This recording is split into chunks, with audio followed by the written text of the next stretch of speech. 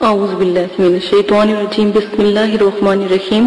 میرے پیارے بہنوں اور بھائی امید کرتی ہوں کہ آپ سب خیریت سے ہوں گے۔ آج جو میں آپ کے ساتھ موٹاپے کا نسخہ آپ کے ساتھ شیئر کرنے جا رہی ہوں، بہت ہی بلند، بہت ہی باکمال، بہت ہی نیاب نسخہ ہے۔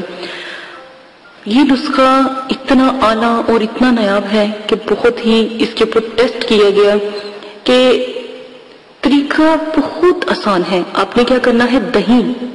وٹامن سی سے بھرپور دہی ہوتا ہے۔ آپ نے خالص دہی لے لینا ہے، ڈبوں کا دہی نہ استعمال کریں۔ خالص دودھ کا دہی، بے شک آپ اپنے گھر میں بھی اس کو بنا سکتے ہیں۔ آپ نے دہی لے لینا ہے۔ دہی کو لے کر آپ نے کیا کرنا ہے؟ آپ نے دہی کو اس کے اندر کالا زیرہ، سفید زیرے میں کوئی کوالٹی نہیں ہوتی۔ ایک بات یاد رکھیے گا سفید زیرہ بالکل اتنا اچھا نہیں ہوتا جتنا کہ کالا زیرہ مضبوط اور پاور ہوتا ہے، اس کے اندر اتنی مضبوطی ہوتی ہے کہ جہاں پر بھی اس کا استعمال کیا جائے، با کمال ہے۔ آپ نے کیا کرنا ہے؟ کالا زیرہ لینا ہے۔ ٹھیک ہے؟ کیا لینا ہے؟ کالا زیرہ۔ کالا زیرہ لے کر آپ نے اس کو آپ نے دہی کے بعد مکس کر لینا ہے۔ میٹھا نہیں ابھی ڈالنا۔ صرف کالا زیرہ اور دہی اور کالی مرچیں پسی ہوئی۔ موٹی موٹی۔